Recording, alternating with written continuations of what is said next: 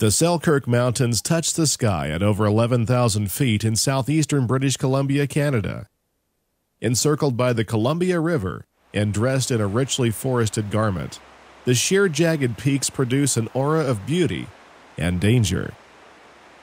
Deep within the heart of these mountains, a transcontinental rail line passes through the longest railway tunnel in the Western Hemisphere. This is Canadian Pacific's route over Rogers Pass.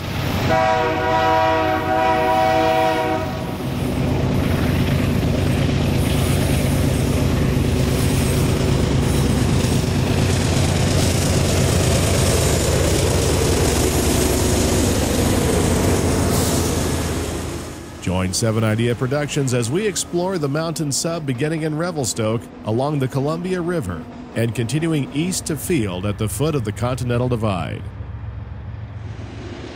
The mountain sub lives up to its name with stiff grades of 2.4%. You'll see trains burrowing under active avalanche zones.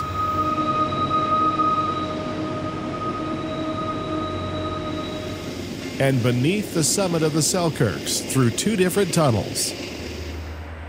The five mile long Connaught Tunnel and the 9.1 mile Mount Macdonald Tunnel, the longest in North America.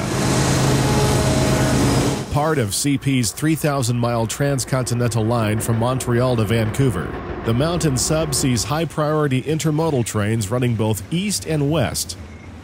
Unit grain trains, 152 car coal trains out of Crowsnest Pass, monster 170 car potash trains weighing over 20,000 tons, and Canada's premier passenger train, the Rocky Mountaineer.